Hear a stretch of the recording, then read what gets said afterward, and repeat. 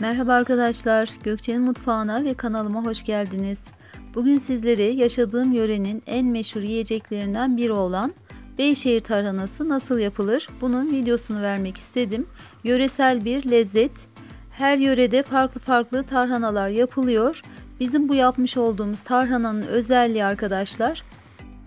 Kış akşamlarında meyve sofralarımızda ya da ikindin çaylarımızın yanında ya da günün her saatinde ne zaman canınız isterse bir atıştırmalık niyetiyle cips gibi ya da bisküvi gibi düşünebilirsiniz. Özellikle yanında cevizle yenildiğinde lezzetini ikiye katlayan bir yiyecek arkadaşlar. Beyşehir'in tarhanası arzu edildiğinde çorbada yapılabiliyor. Yine bu aynı tarhanadan. Tarhanamızın iki ana maddesi var arkadaşlar. Birincisi yoğurt, ikincisi de buğdaydan çekilmiş olan yarma. Ayranımızı hazırlayıp büyük bir kazanın içine aldıktan sonra ayranın kaynamasını bekliyoruz ve bu sırada sürekli karıştırılması gerekiyor. Daha sonra kaynama başladıktan sonra içine yavaş yavaş bakın videomda da sizlere tüm detaylarını göstermek istiyorum. Yukarıdan serptirme yöntemiyle bütün yarmayı ayranımızın içine ilave ediyoruz arkadaşlar. Ayranımız kaynamadan önce içinin tuz miktarını da ayarladık. Üzerine bütün yarmamızı böyle yukarıdan aşağı doğru serptirerek tamamını ayranın içine ilave ediyoruz ve sürekli karıştırarak buğdayların pişmesini sağlayacağız arkadaşlar. Beyşehir tarhanasının nasıl bulunduğunu da size bildiğim kadarıyla şu şekilde anlatayım. Eşrefoğlu Beyliği zamanında Eşrefoğlu Bey'i askerlerini sefere çıkmadan evvel ahçılarından askerlerin taşıyabileceği kadar hafif ama yedikleri zamanda doyurucu olacak bir yiyecek bulmalarını istemiş ve o dönemde ahçılar yoğurtla yarmayı karıştırarak daha sonrasında da kurutarak bu tarhanayı bulmuşlar arkadaşlar. O günden bugüne de tarhana hiç unutulmamış Beyşehir'de. Hatta günümüze kadar üstüne ekleyerek yapımı daha kolay ve pratik hale getirilmiş arkadaşlar. Her sene yaz mevsiminde bütün Beyşehir halkı bu tarhanayı yapıyor ve bir yıl boyunca sizlere başta da söylediğim gibi tüketiliyor arkadaşlar. Gerçekten yapımı çok zor ama yemesi çok keyifli olduğu için yılda bir kez olsun bu zahmete değer olduğunu düşünüyoruz. Komşularımızla beraber imece yöntemiyle arkadaşlar yardımlaşarak birbirimize bu tarhanayı yapıyoruz. Ben bu tarz yöresel lezzetleri gerçekten çok seviyorum arkadaşlar.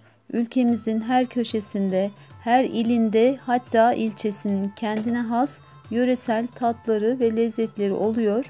Ben de bugün sizlere dediğim gibi yaşadığım yörenin meşhur taranasını paylaşmak istedim. Umarım tarifimden memnun kalmışsınızdır. Bunun içine isteyenler e, süt, e, kendi yapmış oldukları yoğurdu veya tereyağı farklı lezzetlerde ekliyorlar ama genel olarak kullanılan ölçü bu şekilde bir teneke yarmaya 10 kilo yoğurt benim yapmış olduğum ölçü ise 2,5 teneke yarmaya 25 kilogram süzme yoğurt. İlk olarak ayranımızı kazanımızın içine almıştık.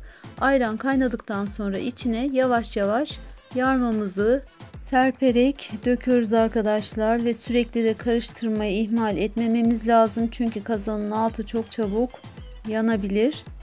Zaten dökmüş olduğumuz yarmalar birazdan ayranı iyice emecekler ve aynı bulgur pilavı gibi şişecek arkadaşlar.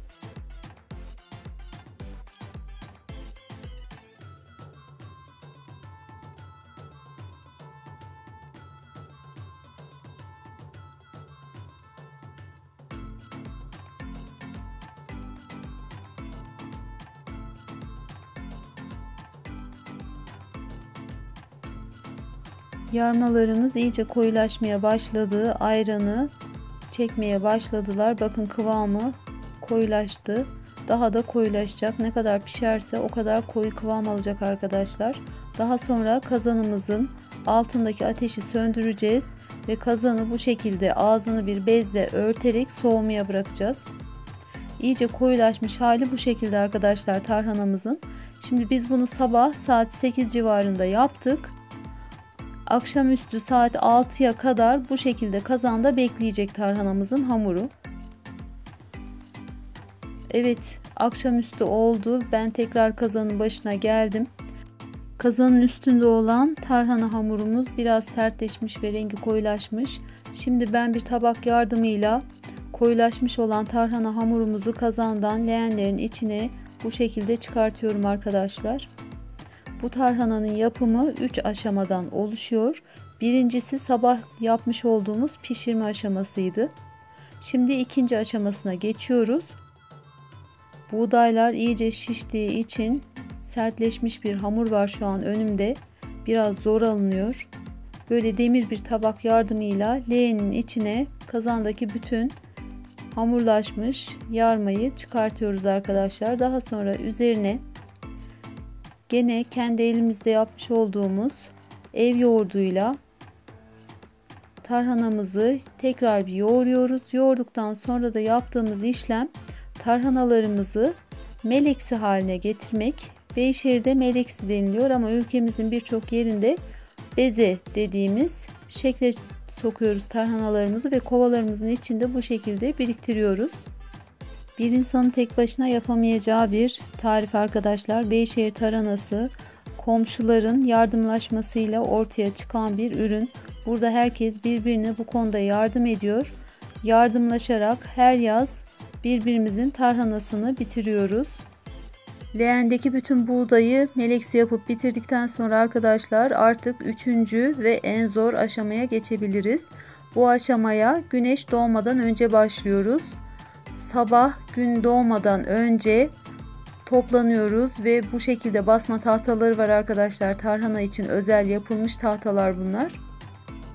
İki naylonun arasına hazırlamış olduğumuz yuvarlak meleksileri yerleştirip tahtayı birisi kapatıyor ve ayaklarıyla ezerek yüz yuvarlak ve incecik şekil almasını sağlıyor. Bütün hazırladığımız meleksiler bitene kadar bu işlemi tekrarlıyoruz ve yapmış olduğumuz bu yuvarlakları da tepsilerin üzerinde biriktiriyoruz arkadaşlar. Şimdi onları nasıl serdiğimizi ve kuruttuğumuzu göstereceğim sizlere. Beyşehir'de bu tarhana için özel satılan çit dediğimiz böyle kamıştan yapılmış olan hasır sergiler var arkadaşlar. Onları yerden yüksek bir şekilde önceden yerine hazırlıyoruz ve yapılmış olan tarhanaları naylondan ters çevirerek bu çitlerin üzerine seriyoruz arkadaşlar. Bakın naylonu tarhanasıyla beraber ters çeviriyorum ve üstündeki poşeti alıyorum. Tarhanalara bundan sonra hiç dokunmayacağız. Tamamen gerisi güneşe kalıyor. Güneş ışıklarıyla tarhanalarımız çıtır çıtır kuruyacak. Bu işlem iki gün devam edecek arkadaşlar. İkinci günün sonunda tarhanalarımızı kaldırabiliriz. Bakın çitin altından ve üstünden hava alarak tarhanaların yeteri kadar kuruması sağlanıyor. Burada havanın da çok önemi var. Havanın kesinlikle kuru ve güneşli olması gerekiyor. Tarhanalarımızın işi bitti artık arkadaşlar. Gerisi havaya kalmış. İki günün sonunda tarhanalarımızı toplayıp bir yıl boyunca inşallah afiyetle tüketeceğiz arkadaşlar. Umarım tarifimden memnun kalmışsınızdır. Beni izlediğiniz için teşekkür ederim.